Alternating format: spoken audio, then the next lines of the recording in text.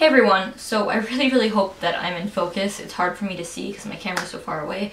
Um, but I hope I'm in focus. If I'm not, I'm so sorry. You guys know I have trouble sometimes and every time I think that I have it under control, I don't. So, I digress. Today I'm going to be talking to you about my worst hair salon experience. I love watching these videos on YouTube. Like I love seeing people's like hair horror stories, especially as a hairstylist. I think it's like so amusing and so funny. And I do have Godfrey here if you do see him popping up and making noises.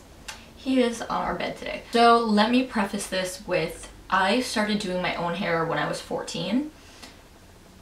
Really, I kind of started when I was 12. That's when I started dabbling, but I really started doing my own hair when I was 14. Um, since I was 14 to the age of 16, from 14 to 16, I probably went to a hair salon maybe three or four times only. Um, so I barely ever went to a salon. I always did my own hair. And since I've been a hairstylist, I've always done my own hair also. Um, I haven't been to a salon since I was 16 because that's when I got my hair permit. And when I was 17, I got my hair license. So I've been doing my own hair for a really long time. And you know, when I was younger, I, I did make some mistakes um, on myself, but usually it was stuff I was able to fix. But when I was 15, I had my hair, like I had like the typical scene hair. So it was like a blonde on top, black underneath, like really like short and spiky blonde with like long black pieces underneath and then like black underneath my bangs. Like I liked it so that I had black under my bangs but there was blonde over top of it. I'm gonna try and post a picture here. So I was doing it myself. Um, I was doing it with box dye because that's all I knew but it always came out really good, especially considering I was doing it myself. I was doing the coontails and everything, and it always came out like really good for a 15 year old, you know what I mean? Um, people always ask me like who did my hair, and I was always like, it was me. Like I was cutting it, I was doing everything. But accidents happen, and I one day was just touching up my hair, touching up the black, touching up the blonde, and he's so distracting sometimes because he's so cute. And as I was rinsing it out, the black washed into the blonde and turned like a blue-gray color. Um, so I had like these blue-gray streaks like in the front of my hair and I did not want blue hair. The gray I didn't want either at the time because I still wanted my hair to be like I wanted like a kind of like a medium golden blonde like a natural sort of looking blonde. I didn't want any like white silver gray at this time. So when it turned gray I was like panicking because if you don't want gray hair it's like really really scary or blue too like I did not want blue hair.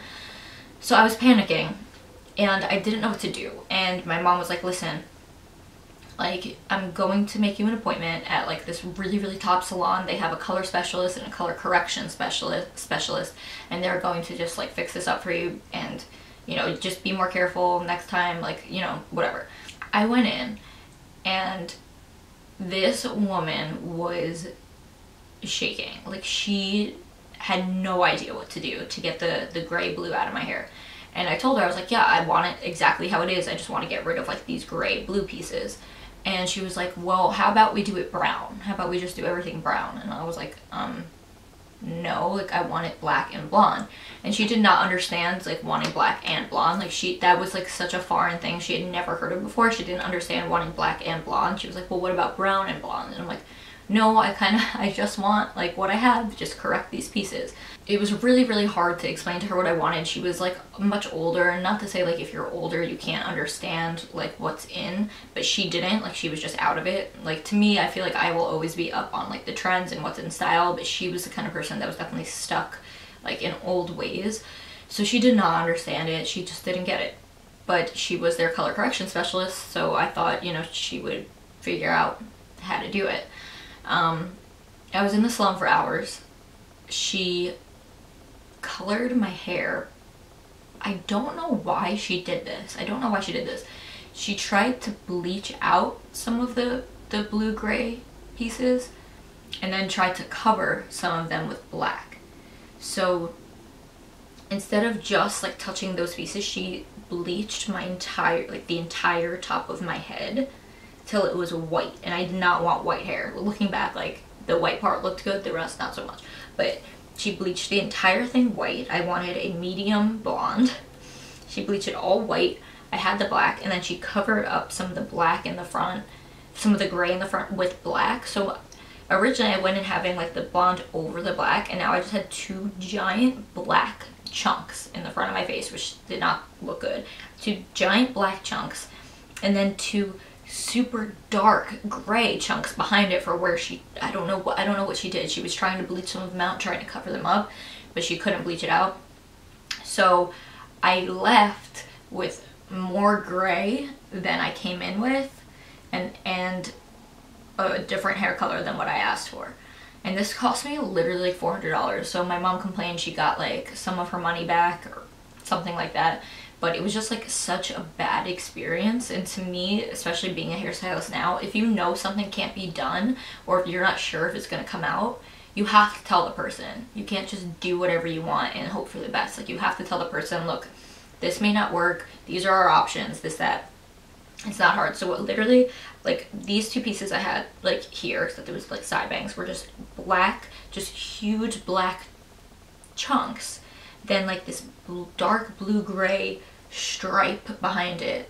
Then white hair, and then black underneath. And it, it was not cute. Like it wasn't it wasn't intentional. I don't I wish I had pictures, but I don't. So I I left looking worse than I came in. And when I got home, I ended up just buying a color remover and fixing it myself.